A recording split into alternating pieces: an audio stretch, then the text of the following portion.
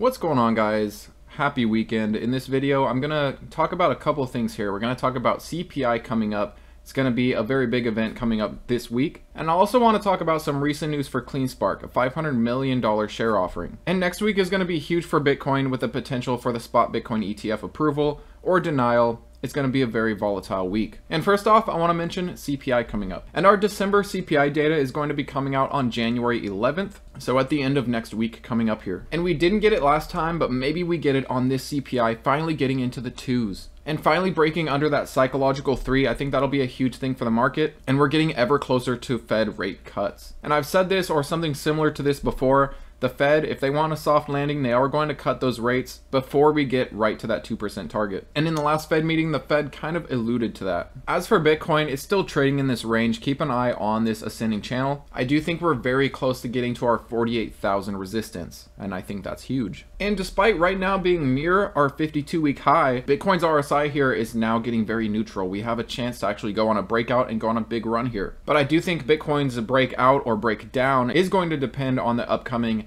SEC spot Bitcoin ETF catalyst. So you're definitely going to want to keep an eye on Bitcoin, keep an eye on this ascending channel. Now I do want to talk about CleanSpark's $500 million share offering. A lot of people have been asking about this. And if you're looking at this as a swing, if you're looking at this short term, of course, this is a negative. Being a short-sighted shareholder, you don't want to see dilution. But looking at this company long term, looking at the survival of this company, looking at their survival to profitability, this gives them what they need to get there. And another thing to realize is while the stock price will react quickly to this negative news, it already reacted a little bit after hours, and Friday was a deep red day for pretty much all the miners. But this is going to be a short-term negative in terms of stock price. I think it's very likely we get to our $7 gap fill. But in reality, you know, this is going to be throughout time that they're going to do this. It's not just going to happen overnight, and it may potentially diminish the peak of the bull run. For example, instead of getting to a peak of say 100 in the peak of the bull run in 2025, maybe we only get to 90. Instead of getting to 50, maybe we only get to 45. I do think looking at them as a company when the share price goes up dramatically, currently unprofitable companies like CleanSpark need to take advantage of it. And this is what they're doing. But let me know what you guys think. Is this a positive or a negative? Of course, short term it's a negative. I do expect a little bit of a downward push, especially if Bitcoin doesn't move up dramatically. But overall, this doesn't change my vision of CleanSpark one bit.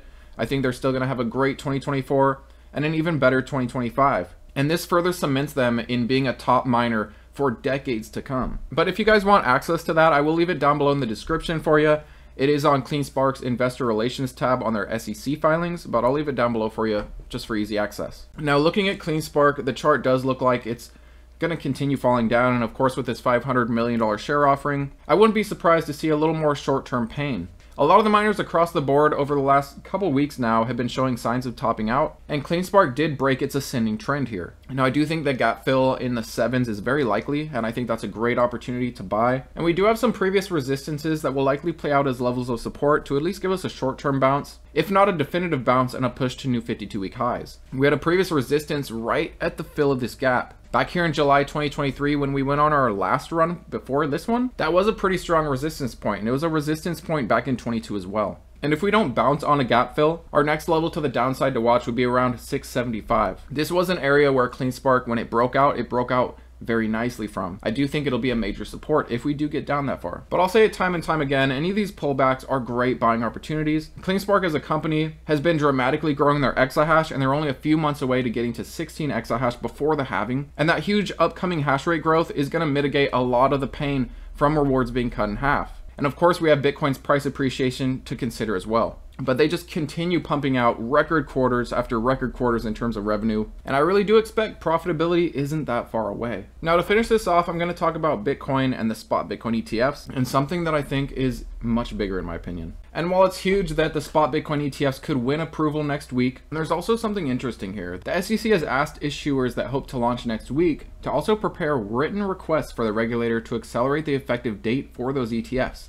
The normal process is for regulators to discuss the timing more informally with issuers. I do think things are all getting set up behind the scenes and we will see that spot Bitcoin ETF approval. And I gotta say, I personally don't see it as a buy the rumor, sell the news event.